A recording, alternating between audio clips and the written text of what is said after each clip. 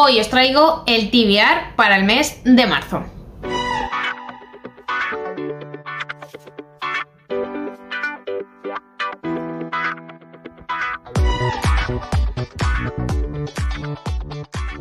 Bienvenidos a Bemar Books, yo soy Chris y hoy vengo con el TBR de marzo, es decir, esos libros que voy a leer durante este mes.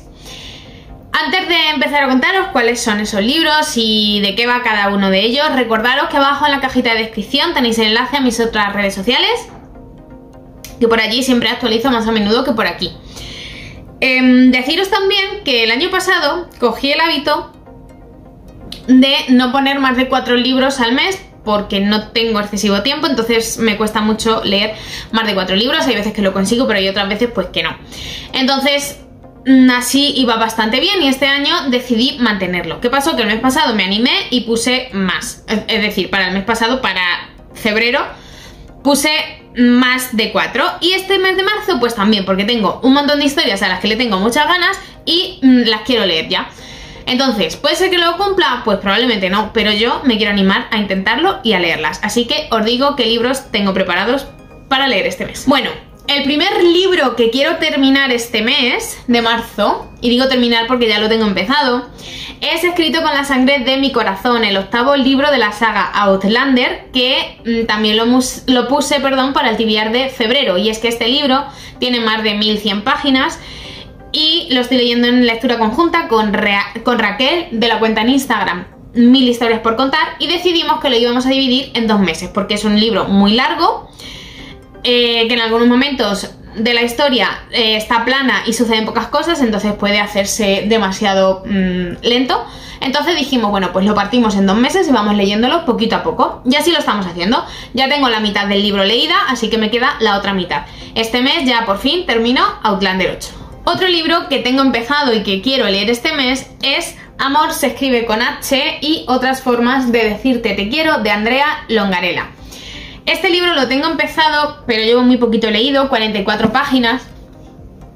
Y es que es de esos libros que estaba en la estantería y me estaba llamando y me estaba llamando y decidí empezarlo. Y lo que leí me gusta mucho. ¿Qué pasa? Pues que como estaba en varias lecturas conjuntas, al final este libro se quedó el pobre un poco abandonado porque tenía que ponerme al día con las lecturas conjuntas para llegar a los comentarios y demás. Es una historia de comedia romántica, al menos la parte que he leído me ha parecido muy divertida. Está narrada em, con un toque cómico de humor que estoy disfrutando mucho. Nos vamos a encontrar a nuestra protagonista que trabaja en una residencia de ancianos como animadora sociocultural.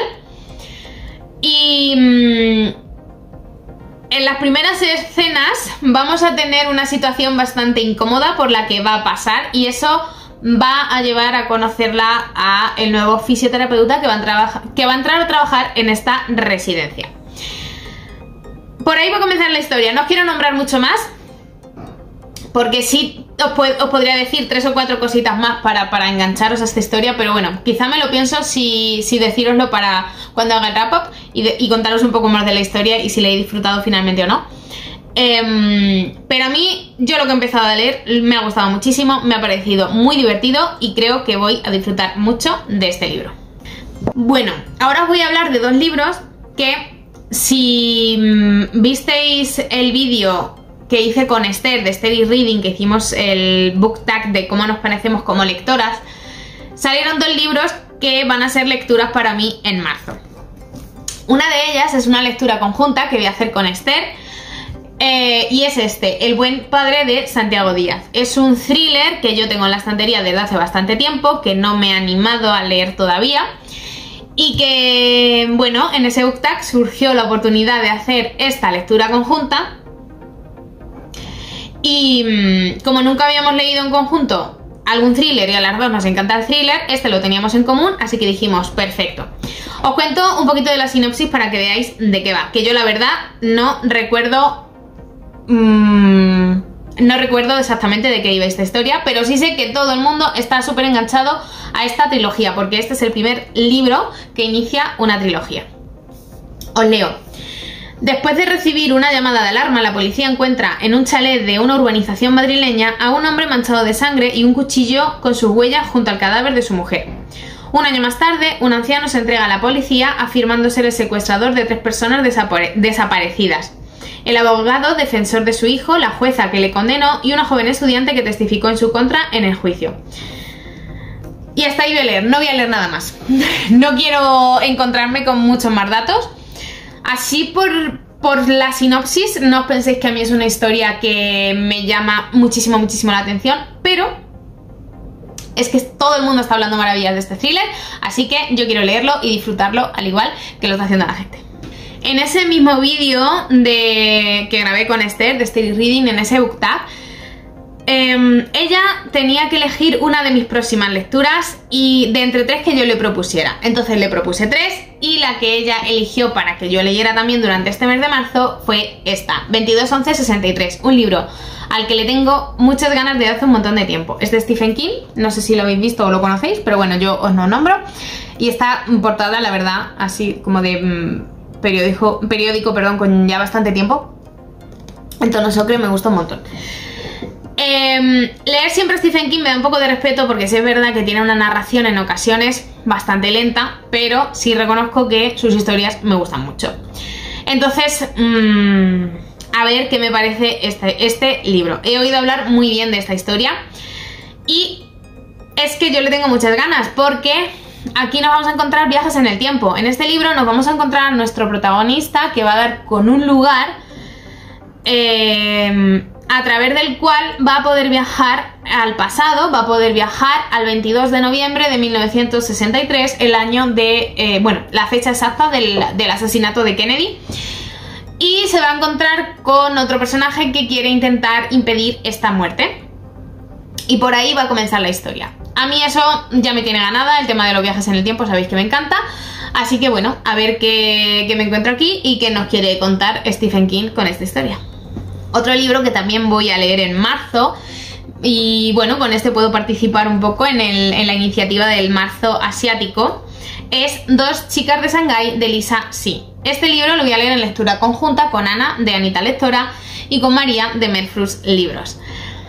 Lisa Si ha pasado a ser de mis autoras favoritas. Dos libros que llevo leído de ella, leídos de ella han hecho pleno, son dos cinco estrellas. Son librazos, unas historias increíbles y quiero leer todo lo que escriba la autora, así que este va a ser el siguiente libro que lea de ella. Os leo un poquito de lo que va.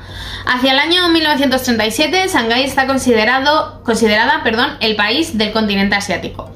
En la sofisticada y opulenta ciudad, donde conviven mendigos, millonarios, gángsters y jugadores, la vida sonríe a las hermanas Pearl, perdón, a las hermanas Pearl y Mei Chin, hijas de un acaudalado hombre de negocios. De temperamentos opuestos, las dos son hermosas y jóvenes, y pese a haber sido criadas en el, seno de una, familia de valores tradicionales, visten a la última moda, posan para los artistas publicitarios y su única preocupación es asimilar lo que llega de Occidente. Pero cuando la fortuna familiar sufre, perdón, un golpe irreversible, el futuro de Pearl y Mai se tiñe de precariedad e incertidumbre. Con los bombardeos japoneses a las puertas de la ciudad, las hermanas iniciarán un largo viaje que las llevará a California, donde su estrecha relación se pondrá a prueba.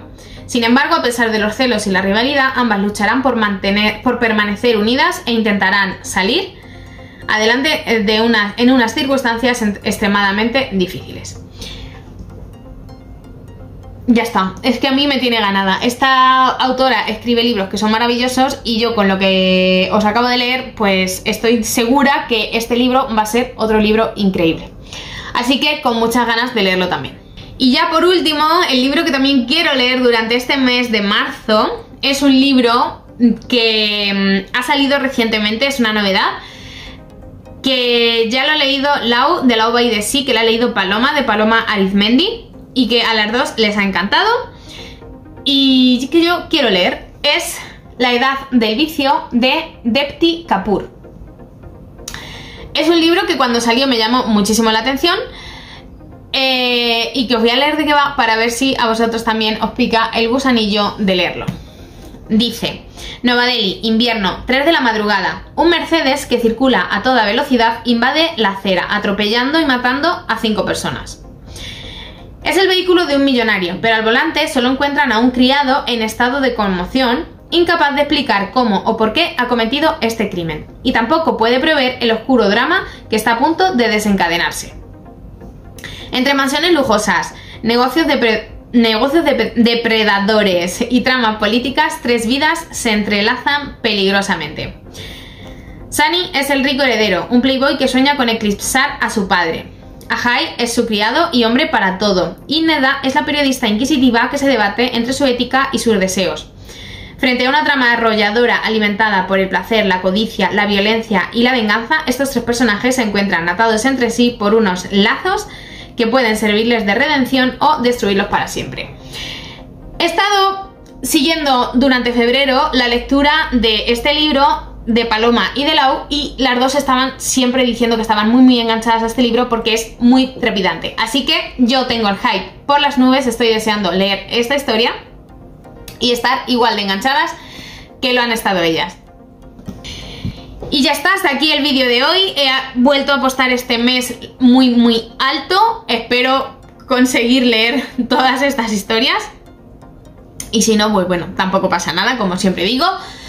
Eh, estos son, son libros que me llaman muchísimo la atención, que le tengo muchas ganas y que espero disfrutar mucho. Si habéis leído alguno, dejadme abajo en comentarios qué os ha parecido o a cuál de los que he nombrado tenéis más ganas de leer. Y ya está, que muchísimas gracias por haber llegado hasta aquí y que nos vemos en el próximo vídeo. Un beso.